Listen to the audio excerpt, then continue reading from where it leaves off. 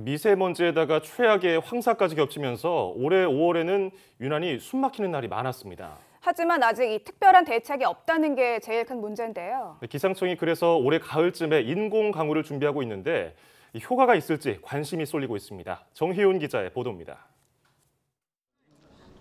장막을 친 듯 희뿌연 하늘과 탁한 공기. 이제는 중국만의 문제가 아닙니다. 1년 중 가장 야외 활동이 많은 봄이지만 우리나라는 최악의 미세먼지 공습에 시달리고 있습니다.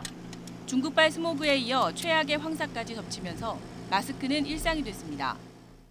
미세먼지 때문에 신나게 뛰어놀아야 되는데 너무 답답해가지고 잘 못 놀겠어요. 올해 1월에서 3월까지 전국의 미세먼지 평균 농도는 세제곱미터당 32 마이크로그램으로 지난해 같은 기간에 비해 2 마이크로그램 높았습니다. 4월에는 57 마이크로그램, 이달에는 1일부터 9일까지 98 마이크로그램까지 치솟았습니다. 특히 서울과 인천, 경기, 강원 등 전국 7개 권역의 평균 농도는 WHO 기준으로 위험 수준인 110에서 120 마이크로그램을 기록했습니다. 중국이 미세먼지의 50%를 차지하는 상황에서 대책을 마련하기도 쉽지 않습니다.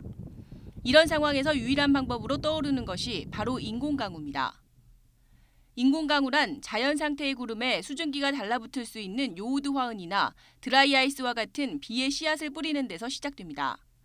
수증기가 붙어 물방울이 무거워지면 비가 돼 내리는데 이 비가 미세먼지를 씻어내리게 한다는 겁니다. 9월, 10월 달에 그때 저희가 그 다목적 항공기가 들어오거든요. 예, 그때 본격적으로 합니다. 기상청은 가뭄 대책으로 인공강우 실험을 계속해왔지만 최근 들어 미세먼지 저감 대책에 대한 관심이 더 커지고 있습니다. 다만 인공강우는 큰 비용이 들고 수자원을 인위적으로 사용하는 데 따른 문제가 만만치 않아 충분한 검토와 연구가 필요할 것으로 보입니다. YTN 정혜윤입니다.